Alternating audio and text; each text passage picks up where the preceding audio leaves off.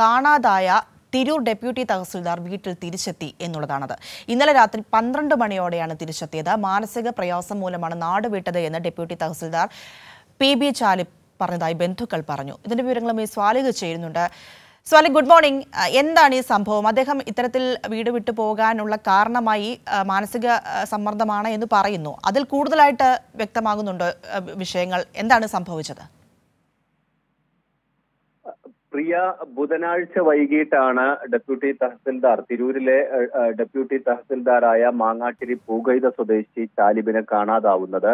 വൈകിട്ട് ഇയാൾ വീട്ടിലേക്ക് മെസ്സേജ് അയച്ചിരുന്നു ഞാൻ എത്താൻ വൈകും. ഒരു റെയ്ഡ് ഉണ്ട്. പോലീസും എക്സൈസ് വകുപ്പും എല്ലാം കൂടെ ഉണ്ട് എന്ന് പറഞ്ഞാണ് മെസ്സേജ് അയച്ചിരുന്നത്. പക്ഷേ പിന്നീട് വൈകിയും എത്താതിരുന്നതോടെയാണ് പോലീസിൽ പരാതി നൽകുന്നത്. തുടർന്ന് പോലീസ് ഫോണിന്റെ ലൊക്കേഷൻ പരിശോധിച്ചപ്പോൾ അത് കോഴിക്കോടും പിന്നീട് ഉടുപ്പിയിലുമാണ് കണ്ടത്. ഫോൺ സ്വിച്ച് ഓഫ് ആവുകയും ചെയ്തു. ഇതാണ് വീട്ടുകാർക്ക് വലിയ ഒരു ആശങ്ക ഉണ്ടായിരുന്നത്. എന്നാൽ കഴിഞ്ഞ രാത്രി അദ്ദേഹം ഫോണിൽ ഭാര്യയെ ബന്ധപ്പെട്ടിരുന്നു. ഞാൻ വന്നുകൊണ്ടിരിക്കുകയാണ് എന്റെ കൂടെ മറ്റാരുമില്ല എന്ന് അറിയിച്ചിരുന്നു ഇന്നലെ രാത്രി പന്ത്രണ്ട് മണിയോടെ വീട്ടിലേക്ക് എത്തുകയും ചെയ്തു. പ്രത്യേകിച്ച് കാരണങ്ങളൊന്നുമില്ല. ഇത്തരത്തിൽ മാനസിക സമ്മർദ്ദം ഉണ്ടായിരുന്നു എന്നാണ് ബന്ധുക്കൾ ബന്ധുക്കളോട് ഇദ്ദേഹം പറഞ്ഞിട്ടുള്ളത്. പക്ഷെ മറ്റെന്തെങ്കിലും ഇതിനകത്ത് കാരണങ്ങൾ ഉണ്ടോ എന്നത് സംബന്ധിച്ച് ഒരു വ്യക്തമല്ല.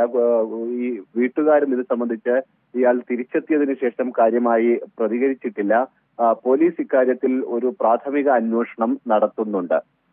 ശരി സ്വാലിക് എന്തായാലും ആശ്വാസകരമായ ഒരു കാര്യം തന്നെയാണ് കാണാതായ തിരൂർ ഡെപ്യൂട്ടി തഹസിൽദാർ വീട്ടിൽ തിരിച്ചെത്തി എന്നുള്ളത് തന്നെയാണ് ഏറ്റവും പ്രധാനമായിട്ടും പങ്കുവയ്ക്കാനുള്ളത് അദ്ദേഹം ഇന്നലെ രാത്രി വീട്ടിൽ എത്തിയിട്ടുണ്ട്. സ്വാലിഹാണ് വിവരങ്ങൾ നൽകിയത്.